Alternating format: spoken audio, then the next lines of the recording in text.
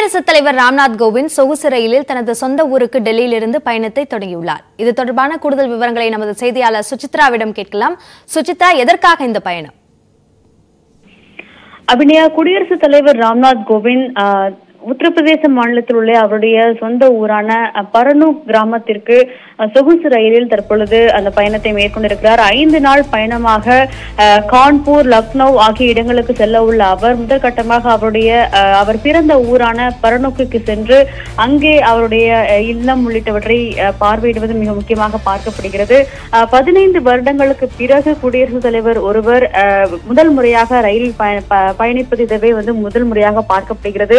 அப்துல் கலாம் கடந்த இரண்டாயிரத்தி ஆறில் பயணம் செய்த பிறகு எந்த ஒரு குடியரசுத் தலைவரும் அஹ், ரயிலில் பயணம் செய்யவில்லை என்பது குறிப்பிடத்தக்கது. தற்பொழுது ராம்நாத் கோவிந்த் இன்று டெல்லியில் உள்ள சப்தர்ஜங் நிலைய ரயில் நிலையத்திலிருந்து புறப்பட்டு நேரடியாக கான்பூர் சென்று அங்கே இருக்கும் அவருடைய படித்த வளர்ந்த அந்த கிராமங்களில் உள்ள நண்பர்களை சந்திப்பதற்கான திட்டமிட்டுள்ளதாக கூறப்படுகிறது. மிக முக்கியமாக அஹ், மக்களை நேரடியாக சந்திப்பதற்கு இது ஒரு நல்ல முயற்சியாக இருக்கும் எனவும் பாரம்பரியமாக நடைமுறையில் இருக்கும் இந்த ரயில் பயண திட்டத்தை மீண்டும் செயல்படுத்துவதற்கு இது ஒரு முன்னோடியாக இருக்கும் என்ற ஒரு கருத்தையும் ஜனாதிபதி மாளிகை தெரிவித்துள்ளது.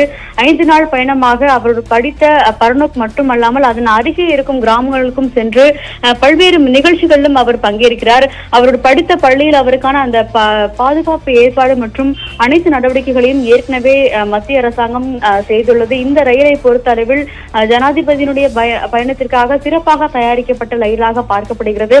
மகாராஜா ரக ரயில் வண்டியை வந்து ஜனாதிபதியினுடைய பயணத்திற்கு ஏற்றபோல் குண்டு துளைக்காத பெட்டிகள் அடிப்படையில் அவர்கள் அதை உருமாற்றம் செய்து தற்பொழுது பயன்படுத்தியிருக்கிறார்கள் என்பதும் குறிப்பிடத்தக்கது. அடுத்த ஐந்து நாட்களும் இந்த ரயிலானது ஜனாதிபதி செல்லும் அனைத்து இடங்களுக்கும் சென்று வரும் இருபத்தி ஏழாம் தேதி மீண்டும் அதன் பிற கான்பூருக்கு சென்று அதன் பிறகு லக்னோ என்று அடுத்தடுத்த பயணங்கள் தொடருள்ளதும் குறிப்பு மிக முக்கியமாக பார்க்கப்படுகிறது அபிநயா.